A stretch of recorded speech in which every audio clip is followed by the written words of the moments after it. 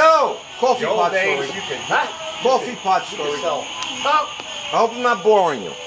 This is the coffee pot story. He stays at my house, right? I said, Dad, listen. And all night long, I said, go in your room. I hate my room. So he's in the living room with us watching TV. Zipper open, hands in his fucking pants, right?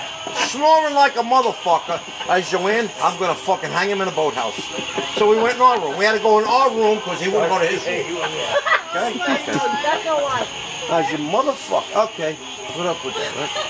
I said, listen, in the morning, I got the coffee set. You see this switch? Just put it on.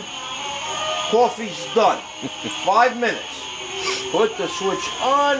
Red light comes on. Coffee's done. You got that? Oh, yeah. Okay. Try it one day. I can't get this fucking coffee. I can't. I don't know where to put the coffee. No, no, no, no, no. You, you put the switch on and the fucking coffee comes on. I make it the night before.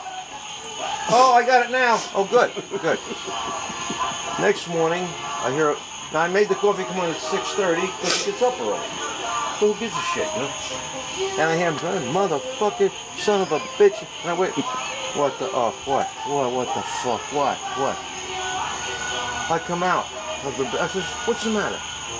There's motherfucking grinds Oh. and coffee, seven cups worth, and all my drawers coming down to the floor, and all my shit bubbling grinds and shit all over the fucking cat, all the spoons, the uh, plastic bags. There was a.